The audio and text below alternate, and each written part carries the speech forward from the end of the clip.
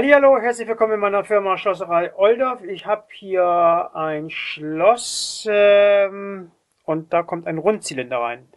Das ist ein Rundzylinder, habe ich so einen. Ich kann gleich mal eben gucken. Ähm, meistens ist die Schloss von BKS, ja, da steht hier auch drauf, BKS. Und äh, ja, da stimmt was nicht.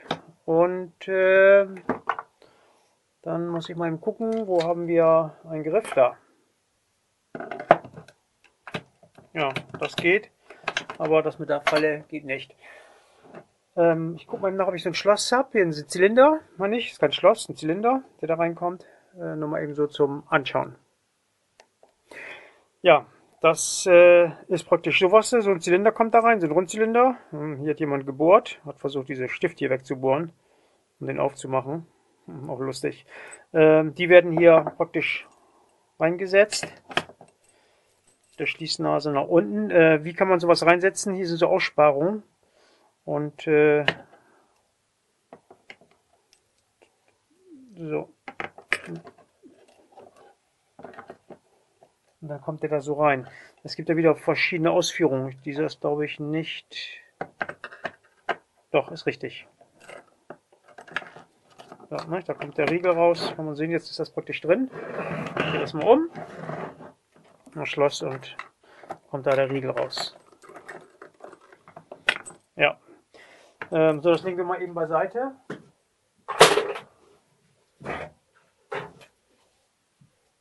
Ja, und hier habe ich dir nochmal einen alten, das hat zusammengesetzt. Den kann man mit dem Schlüssel, wenn man ihn dreht, gibt es einmal hier den dünnen Kern und hier einen dicken Kern.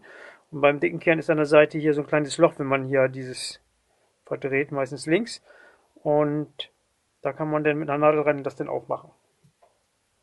Gut, das ist jetzt aber nicht äh, unser Bestreben. Unser Bestreben ist, das Schloss wieder heile zu machen. Hier wollen wir mal schauen, was da los ist. Da ist die Feder kaputt von der Falle. Wichtig ist auf alle Fälle, hier muss so eine Art Nusshalter rein. Das ist so ein Teil.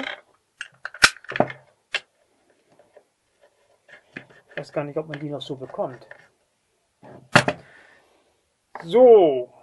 Mhm. Eigentlich wollte ich ein kleines Brett haben.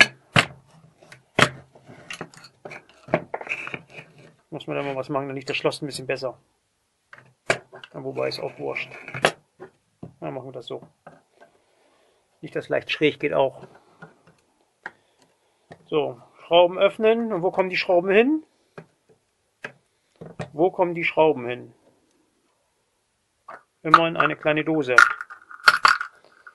damit man das nicht verliert. Da kommen alle kleinen Teile rein, die man äh, so hat.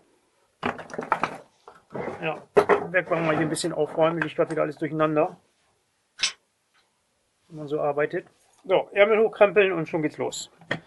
So, dann kann ich hier den Deckel hochnehmen. Und da sehe ich, ja, naja,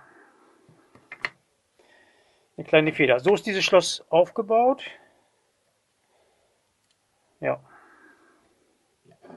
Ähm, so sieht das Innenleben praktisch aus. Und dies hier ist der Wechsel. Dieses hier nennt man Wechsel. Ja, wird da angetrieben.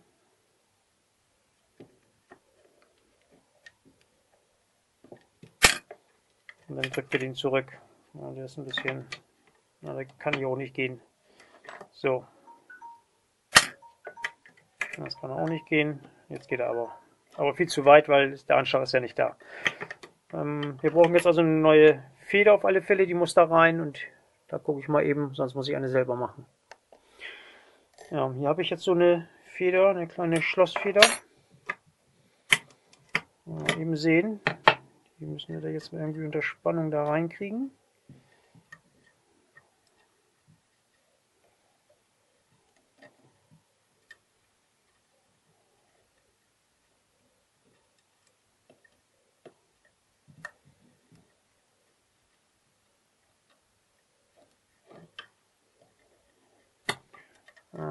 Oh Mann, mein Fingernagel, ey. Den muss ich erstmal heute irgendwie richten. Muss ich mal eben sehen. Eigentlich müsste die Feder Genau, und ich müsste ich die Feder hier ein bisschen drehen. Mal sehen, ob ich das hinkriege. So. Dass sie sich da verdreht. Manchmal ist es nur eine Kleinigkeit, aber dennoch macht das Ding Probleme. So, jetzt ist es drauf. Na, da tickert mich irgendjemand an. So, jetzt brauchen wir ein bisschen Schlossöl. Alle Fälle.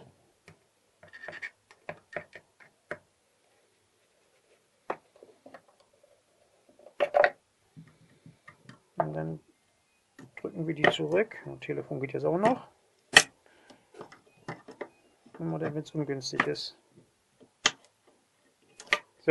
Und schon können wir sehen, es funktioniert. Jetzt gehe ich mal erst ans Telefon rein und dann geht es hier weiter. Ja, am Telefon war die Sprachbox. Ja, sonst ist so mit dem äh, Schloss ja nichts.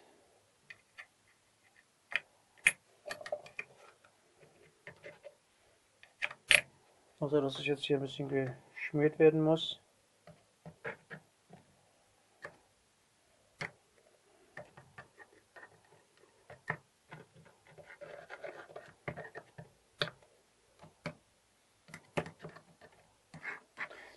Das ist immer wichtig hier, dass man da so eine Nuss reinmacht, weil wenn man da nicht aufpasst, dann fliegt das Ding ganz schön durch die Gegend. Da ist ganz schön Spannung drauf. Das sollte man nicht unterschätzen. So, ähm, auf der gegenüberliegenden Seite, da sehen wir so ein paar Spuren. Ja.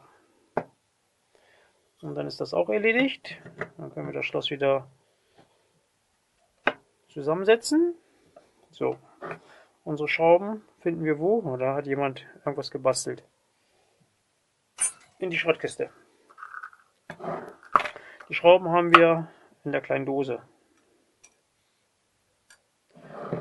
Dann, wenn man nicht aufpasst und man legt die Schrauben dann hin, dann passiert irgendwas. Entweder fliegt hier was durch die Gegend oder äh, das Schloss schiebe ich in diese Richtung oder es passiert irgendwas anderes und schon habe ich das Problem, dass die Sachen auf dem Fußboden fallen und dann ist das weg und das war's dann.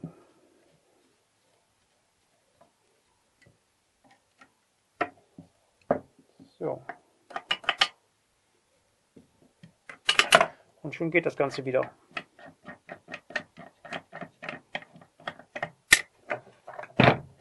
Ja, dann kann der Kunde vorbeikommen, das Schloss wieder rausholen und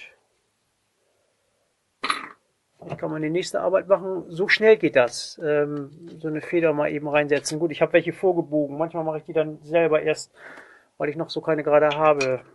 Ähm, aber viele sagen, ja, habe ich nicht, geht's nicht, muss ein neues Schloss rein. Aber das Umbauen in der Tür, das ist ja ganz schön viel Arbeit und sieht nachher hinterher überhaupt nicht gut aus. So, Arbeit ist fertig. Ähm, ja, das war's von meiner Seite aus und dann freue ich mich schon wieder auf mein nächstes Projekt.